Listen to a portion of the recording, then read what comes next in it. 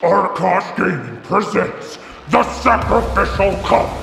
In an effort to bring attention to the North American Dota 2 region, a random team will be sacrificed to the gods of Arkosh Gaming every single week, hosted by established and upcoming Dota 2 talent. Every Tuesday at noon EST, that's 5 GMT for your Euro scum. Watch to see what team Arkosh Gaming shall feast upon.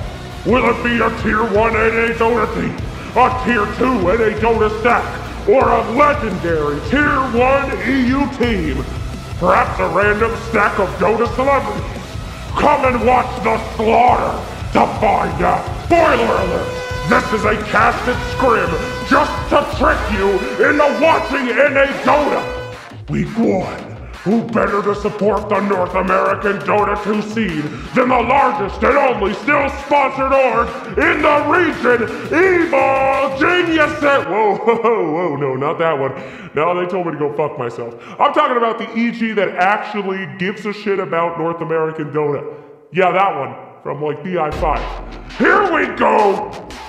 PPD, Aui_2000, and two European players, Stick and Syndereen, casted by the one and only Owen and Paul.